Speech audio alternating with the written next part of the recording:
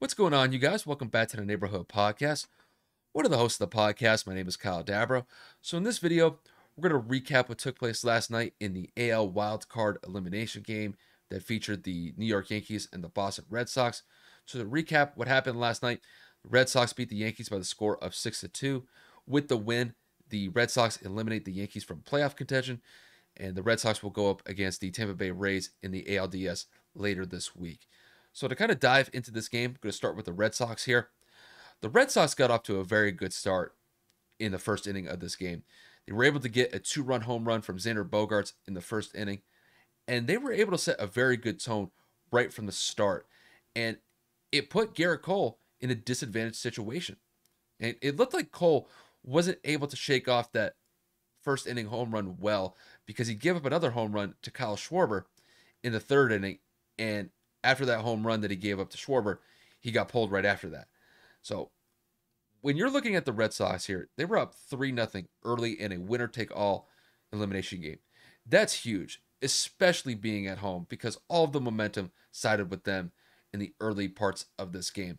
And not only did their bats show up early, I thought the pitching from Nathan Eovaldi was just as good, if not better.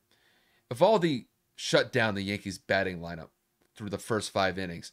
He had eight strikeouts and he got through five and a third innings, but he did give up a solo shot to Anthony Rizzo at the start of the sixth inning.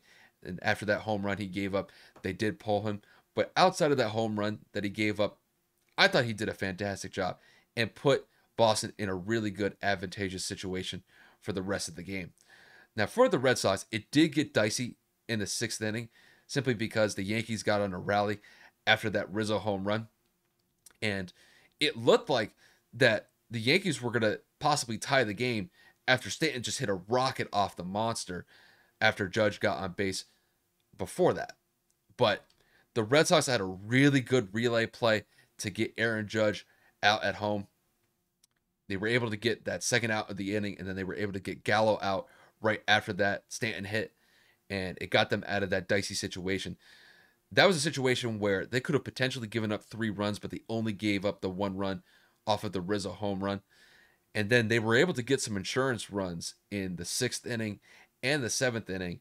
And really, it was the insurance runs that they got from Verdugo in the seventh inning that pretty much ended the game, in my opinion. You know, like I said, Eovaldi got off to a great start, and then the relievers came in right after that, and they were just as sensational as he was. They did give up a ninth inning home run to Stanton, but at that point, the game was well out of reach. And listen, they were up 6 1 at that point, giving up the home run to Stanton was 6 2. But the batters for the Yankees didn't do anything after that. And that was pretty much the end of it. You know, and kind of looking at the Red Sox here, just a week and a half ago, the Yankees came into Fenway and they swept them in three straight games. And I remember that Stanton in particular, he single handedly took over that series by hitting three home runs and knocking in 10 RBIs for the Yankees. But the Yankee but the Red Sox weren't phased by that. They rose to the occasion in this game. This is the biggest game of the year, and they passed with flying colors.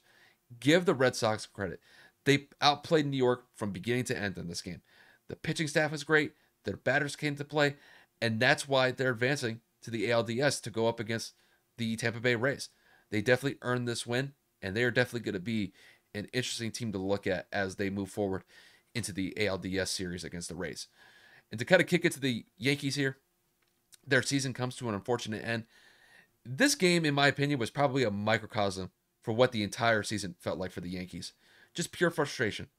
The Yankees pitching staff in this game was awful. There's no other way to describe it. Cole gets run out of the game early after allowing two home runs, and his struggles, in my eyes, set the tone for the pitching staff for the rest of the night it looked like that Cole and all of the relievers were having control issues the entire night. They just couldn't paint the plate well at all. And not only that, the Yankees pitching staff had seven walks in that game, and some of them came on four straight pitches. I believe it was Loaiza in particular. He gave up two walks in a row on eight straight pitches. This is the biggest game for New York of the entire year, and their pitching staff came up incredibly short in this game and that's one of the factors in why they're going home early.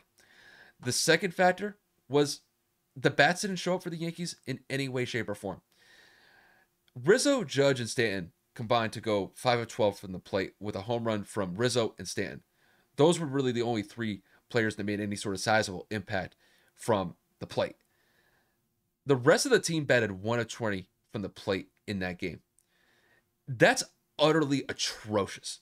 And it's basically impossible to win any game when over two thirds of the team couldn't even get a hit.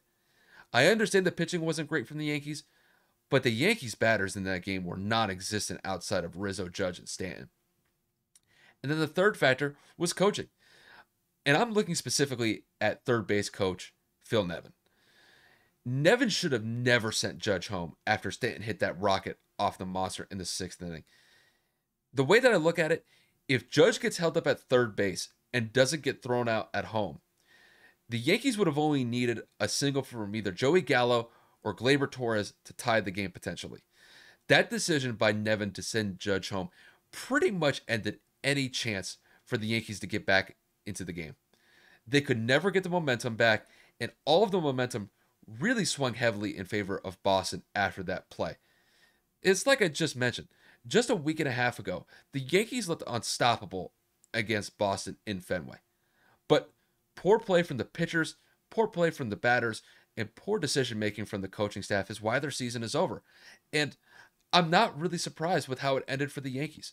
They've been way too inconsistent this season, and it showed up in the biggest moment for them against the Red Sox in this game.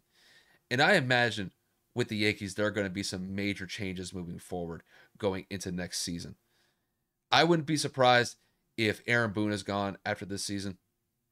I'd like to think that Kevin has a pretty good pulse on how Yankee fans feel about him. And I think it's fair to say that they've had enough of him at this point. I think some other moves that they could potentially be looking at is possibly upgrading the catcher position because I just don't think Gary Sanchez and Kyle Higashioka look like long term fixes for that position. And it could be possible that the Yankees try to upgrade their pitching rotation as well, possibly add another ace to go along with Gerrit Cole you know, it definitely looks like the pitching staff could use some work not only with the starting rotation, but on the back end with the relievers as well. You know, there's definitely a lot of uncertainty for New York going into this offseason. But one thing is for sure this team needs to continue to build around Aaron Judge and Giancarlo Stanton because they are clearly the best players on this team. But this roster, outside of those two offensively, is just not that good. And I'm probably being nice in that regard. It's just there was too much inconsistency from the hitters on this lineup, and not having DJ LeMahieu in this game to go up against the Red Sox, I think it really did hurt them because DJ LeMahieu is one of their more consistent hitters on this team, but he was out with a sports hernia, and I think his absence really did hurt them in this game.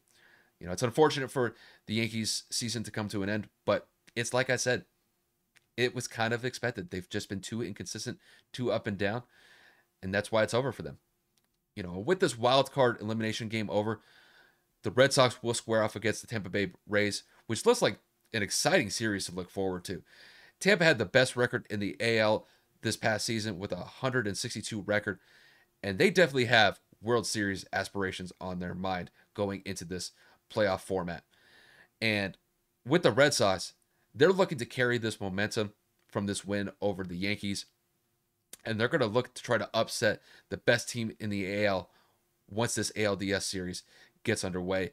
And I'm definitely looking forward to it. It's going to be a fun series between the Red Sox and the Rays moving forward. But with that said, you guys, that'll wrap it up from here. I just wanted to touch on this AL wild card game real quick. And um, if you guys like the video, hit that like button below. If you guys want to support the channel in any way, shape, or form, hit that subscribe button below. Any sort of support that we can get for the channel, Kevin and I definitely appreciate it. You know, just once again, thank you guys for tuning in to watch the video, and we will see you guys later.